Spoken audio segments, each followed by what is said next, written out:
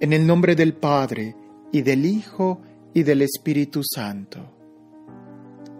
Tu palabra, Señor, fue escrita bajo la inspiración del Espíritu Santo y exige ser leída con un corazón abierto, atento y en la presencia de tu Santo Espíritu.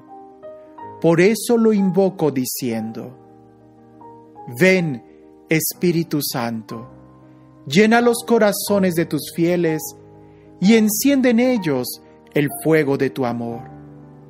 Envía tu Espíritu Creador y renueva la faz de la tierra. Oh Dios, que has iluminado los corazones de tus hijos con la luz del Espíritu Santo, haznos dóciles a sus inspiraciones para gustar siempre el bien y gozar de su consuelo. Por Jesucristo nuestro Señor. Amén. El Palacio de Salomón. Salomón construyó su palacio en trece años. Lo concluyó en su totalidad. Construyó la sala del bosque del Líbano, de cien codos de longitud, cincuenta de anchura y treinta de altura, sobre cuatro hileras de columnas de cedro, con vigas también de cedro que reposaban sobre las columnas. Un artesano de cedro reposaba sobre los travesaños que apoyaban sobre las columnas, cuarenta y cinco en total, quince por cada fila. Había tres filas de ventanas con celosías, una frente a otras, de tres en tres. Todas las puertas y montantes eran cuadrangulares, unas frente a otras, de tres en tres. Hizo el pórtico de las columnas de cincuenta codos de longitud y treinta de anchura. El pórtico estaba enfrente de las columnas y había columnas con un dosel enfrente.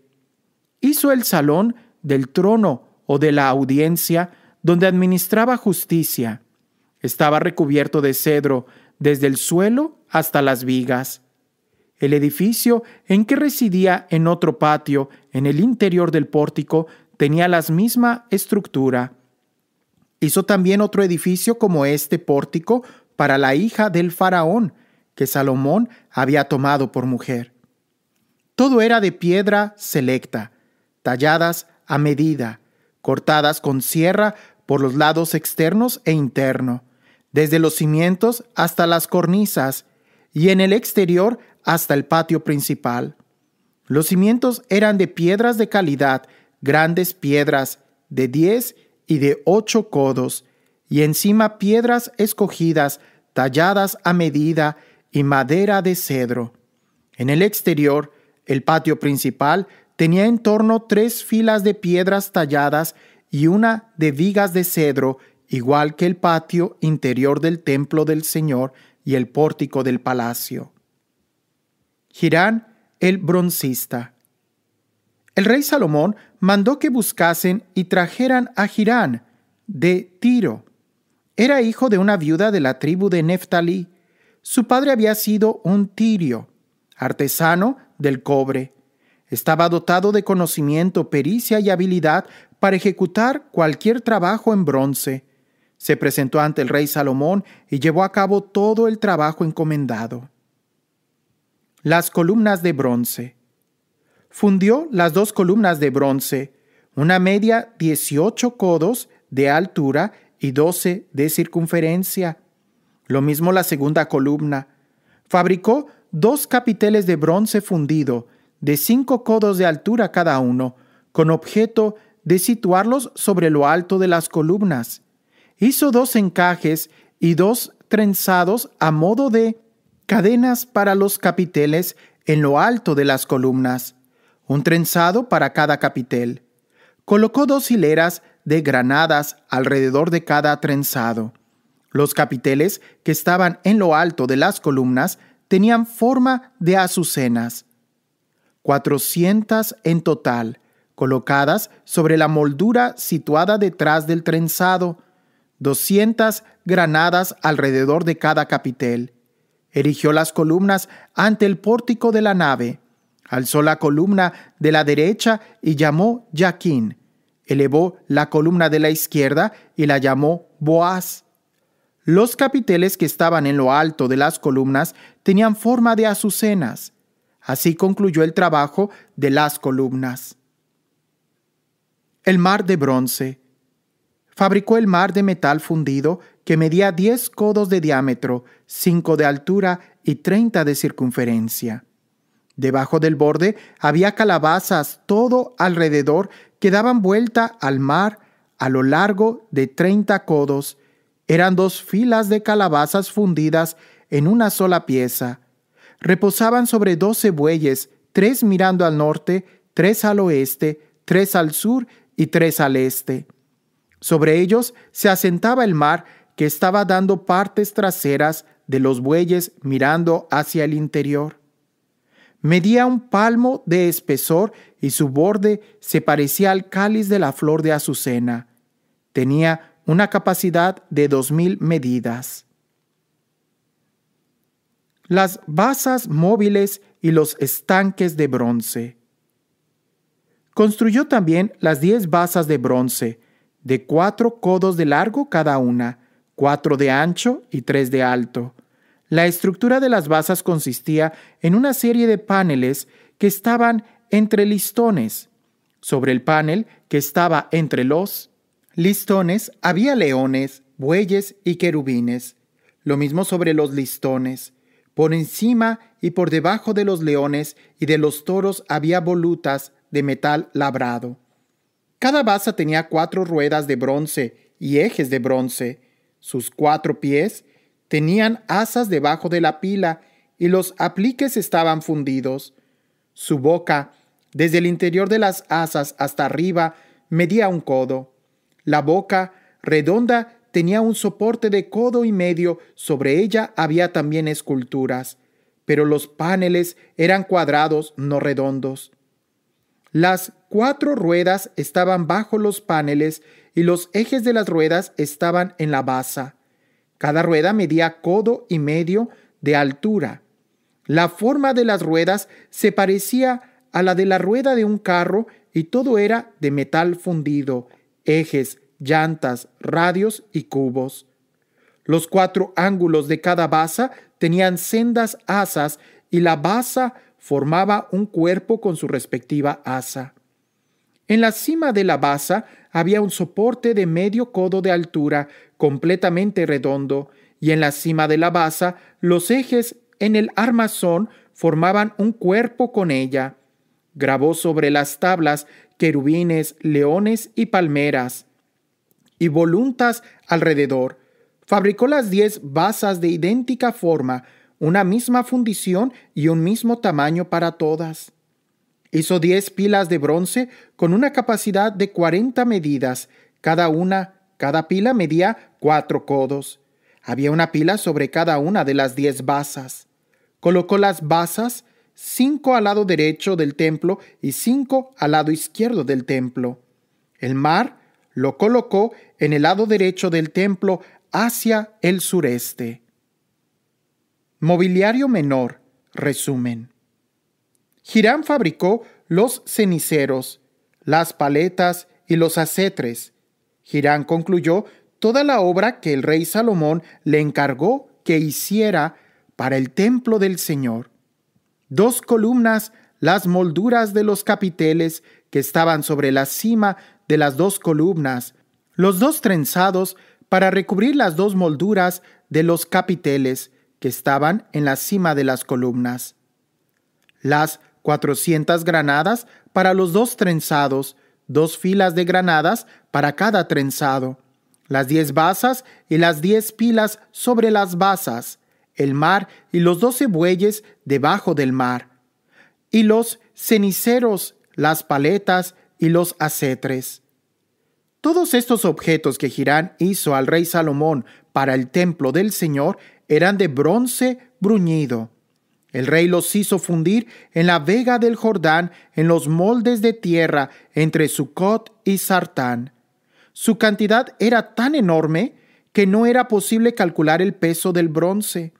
Salomón hizo todos los objetos que había en el templo del Señor, el altar de oro, la mesa sobre la que se ponían los panes presentados de oro, los candelabros delante del santuario, cinco a la derecha y cinco a la izquierda, de oro fino, las flores, las lámparas y las despilvaderas de oro, las cucharas, los cuchillos, los acetres, las copas y los braseros de oro fino, los goznes para las puertas del santuario interior, el santo de los santos y para las puertas de la nave del templo de oro. Cuando se completó toda la obra que el rey Salomón había hecho en el templo del Señor, hizo traer todo lo consagrado por David su padre, la plata, el oro y las demás objetos, y lo depositó entre los tesoros del templo del Señor. Traslado del Arca de la Alianza. Entonces Salomón congregó a los ancianos de Israel, todos los jefes de las tribus y los cabezas de familia de los israelitas ante el rey Salomón, en Jerusalén, para hacer subir el arca de la alianza del Señor desde la ciudad de David, que es Sión. Se congregaron en torno al rey Salomón todos los hombres de Israel. En el mes de Etanín, que es el mes séptimo de la fiesta, vinieron todos los ancianos de Israel y, los sacerdotes condujeron el arca e hicieron subir el arca del Señor y la tienda del encuentro con todos los objetos sagrados que había en ella. El rey Salomón y todo Israel, toda la comunidad de Israel reunida en torno a él, sacrificaron ante el arca ovejas y bueyes en número incalculable e incontable. Los sacerdotes llevaron el arca de la alianza del Señor al santuario del templo, el santo de los santos, a su propio lugar, situado bajo las alas de los querubines. Los querubines extendían las alas sobre el lugar del arca y cubrían ésta y sus varales por encima. Los varales se prolongaban hasta dejar ver sus extremos desde el santuario pero no se dejaba ver más hacia afuera. Ha estado allí hasta el día de hoy. En el arca no había nada más que las dos tablas de piedra que Moisés depositó allí, en el Horeb, las tablas de la alianza que el Señor estableció con los israelitas cuando salieron de la tierra de Egipto. Dios toma posesión de su templo. Cuando los sacerdotes salieron del santuario, pues la nube había llenado el templo del Señor. Los sacerdotes no pudieron permanecer ante la nube para completar el servicio, pues la gloria del Señor llenaba el templo del Señor. Entonces Salomón dijo, El Señor puso el sol en los cielos, pero ha decidido habitar en densa nube. He querido erigirte una morada principesca, un lugar donde habites para siempre. Discurso de Salomón al pueblo.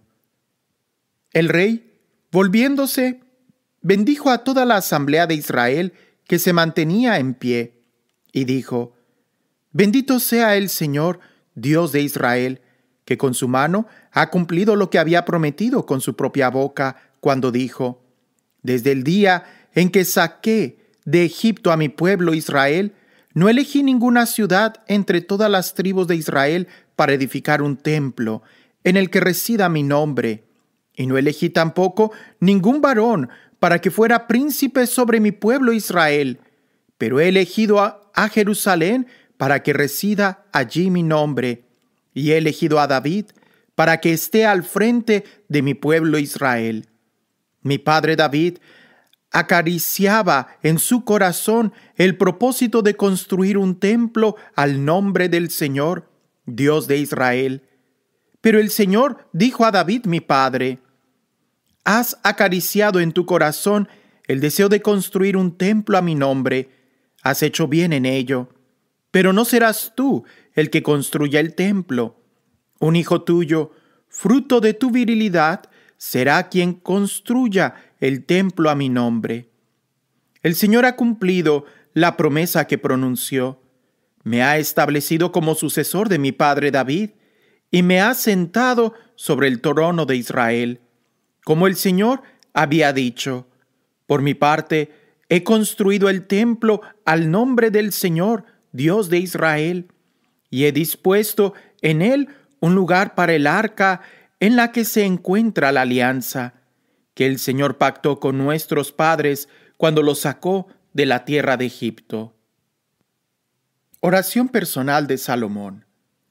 Salomón se puso ante el altar del Señor frente a toda la asamblea de Israel, extendió las manos al cielo y dijo, El Señor, Dios de Israel, no hay Dios como tú arriba en los cielos ni abajo en la tierra, tú, que guardas la alianza y la fidelidad de tus siervos que caminan ante ti de todo corazón, y que has mantenido a mi padre David la promesa que le hiciste, y has cumplido en este día con tu mano lo que con tu boca habías prometido.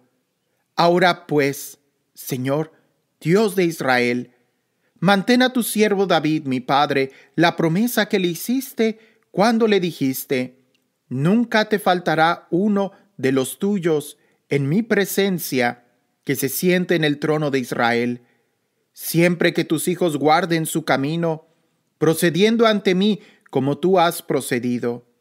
Y ahora, Dios de Israel, cúmplase la palabra que dijiste a tu siervo David, mi padre.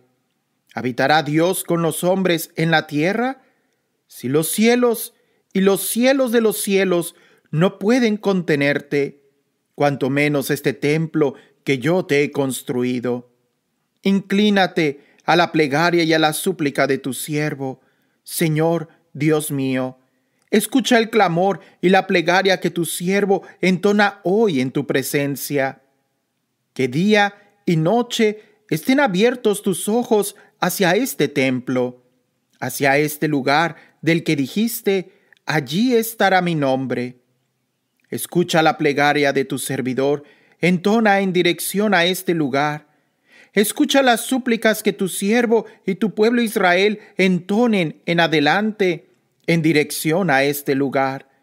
Escucha desde el lugar de tu morada, desde el cielo, escucha y perdona.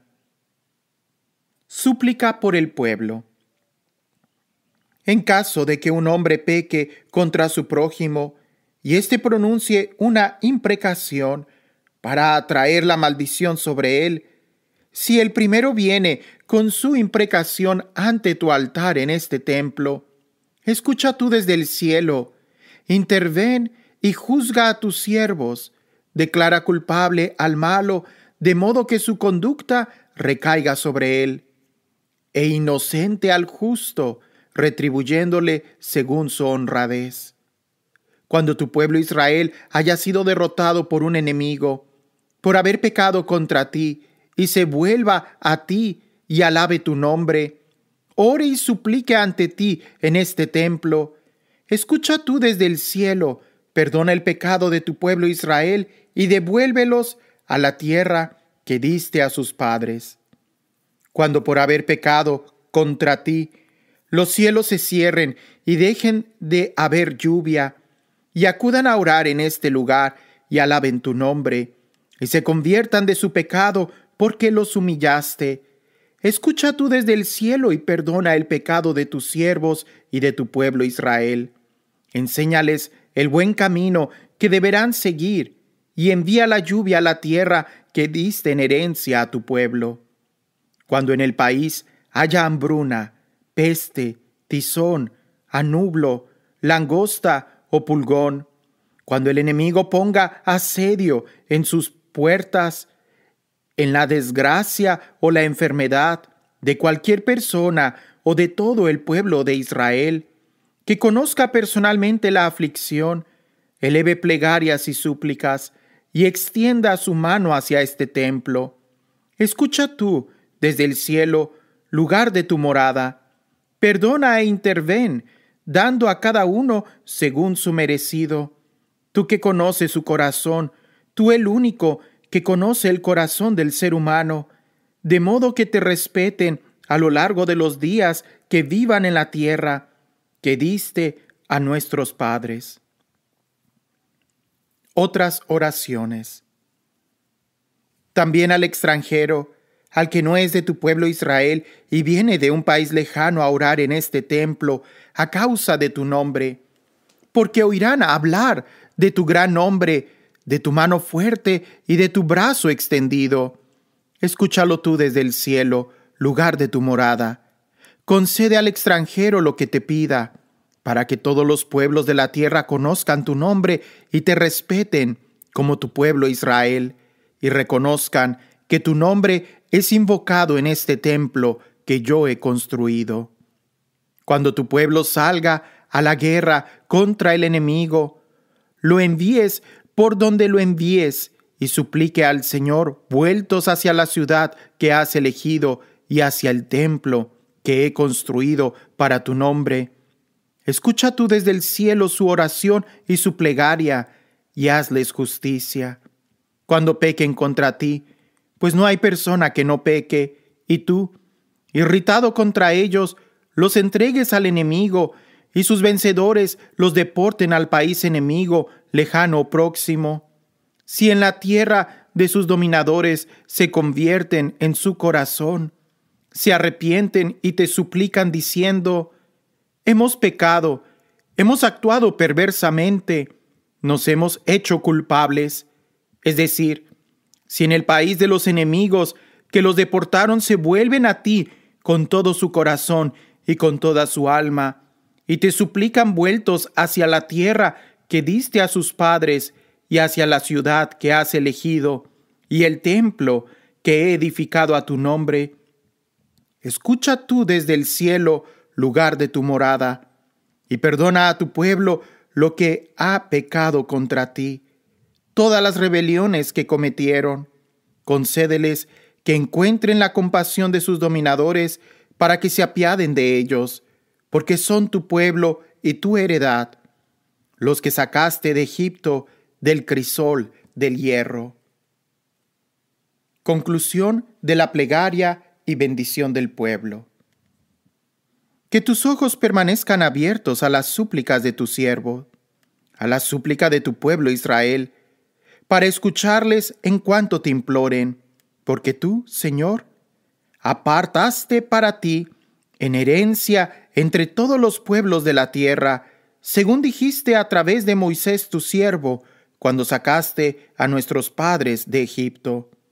Cuando Salomón concluyó estas plegarias y súplica al Señor, se levantó de delante del altar del Señor, donde había estado arrodillado, con las manos extendidas hacia el cielo, y puesto en pie, bendijo a toda la asamblea de Israel, diciendo en voz alta, Bendito sea el Señor, que ha dado el descanso a su pueblo Israel, según todas sus promesas. No ha fallado ni una sola de la palabra de bondad que prometió por medio de Moisés, su siervo. Que el Señor nuestro Dios esté con nosotros como estuvo con nuestros padres, que no nos abandone ni nos rechace, que incline nuestro corazón hacia Él, para que marchemos por sus caminos y guardemos todos los mandamientos, preceptos y decretos que ordenó a nuestros padres.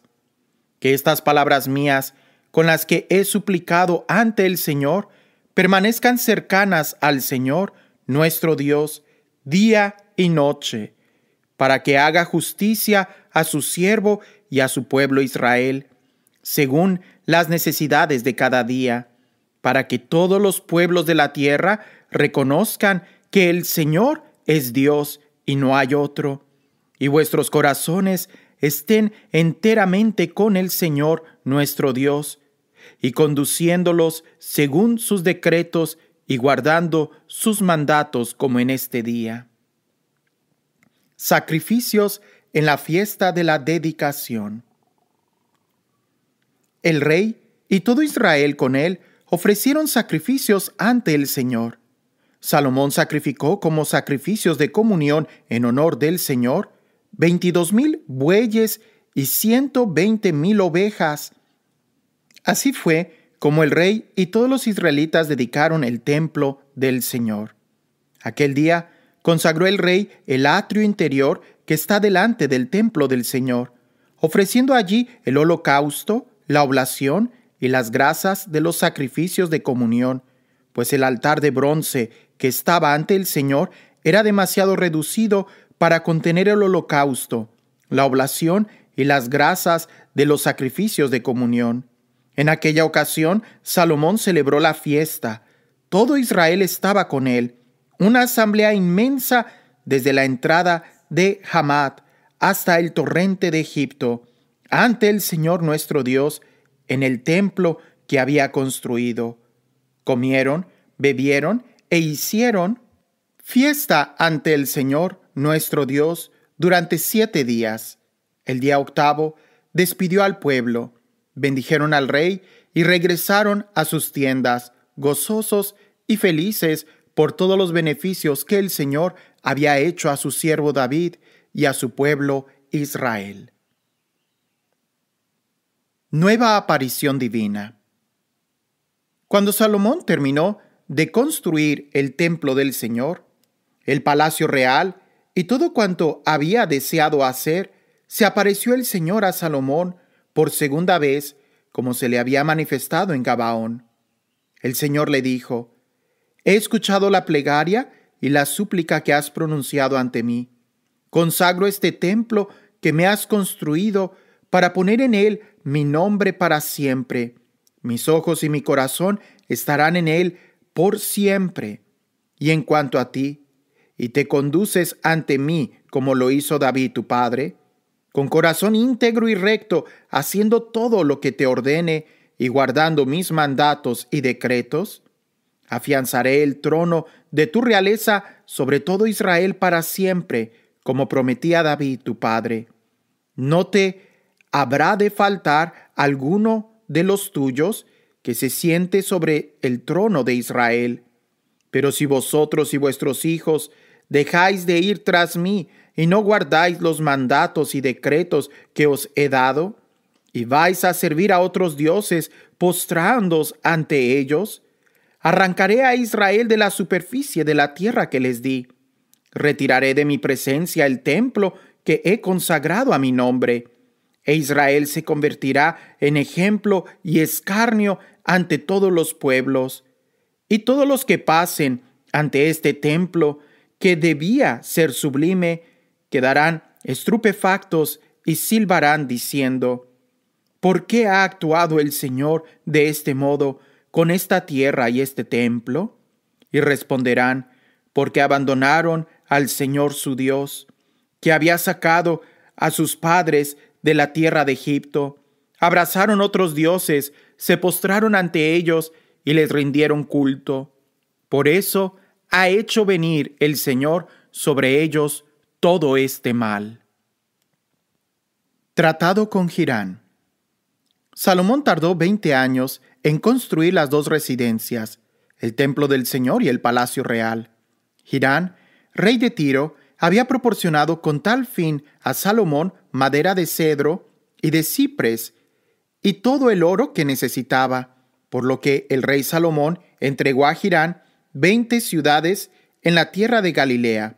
Salió Girán de Tiro para observar las ciudades que Salomón le había entregado, pero no le agradaron, y se quejó, ¿Qué ciudades son estas que me has entregado, hermano mío? Las denominó tierra de Kabul, nombre conservado hasta el día de hoy. Girán había enviado al rey ciento veinte talentos de oro. Leva para las construcciones. Esto es lo referente a la presentación personal que el rey Salomón estableció para construir el templo del Señor y el palacio real, el Milo y la muralla de Jerusalén, Hazor, Megiddo y Geser. El faraón rey de Egipto había subido y tomado Geser y, tras incendiarlas y matar a los cananeos que habitaban la ciudad, la entregó en dote a su hija, la mujer de Salomón, quien reconstruyó Geser, Bet Jorón de abajo, Balat y Tamar, en la estepa del país. Todas las ciudades de aprovisionamiento que tenía Salomón, las ciudades de carros y las de caballos y todo cuanto Salomón quiso construir en Jerusalén, en el Líbano y en todos los dominios de su reino, a cuantos quedaron de los amorreos, hititas, pericitas, givitas y jebuseos, que no eran israelitas y cuyos descendientes habían permanecido en el país, y a los que los israelitas no habían podido exterminar mediante anatema, Salomón los redujo a mano de obra forzada, como ha sucedido hasta el día de hoy.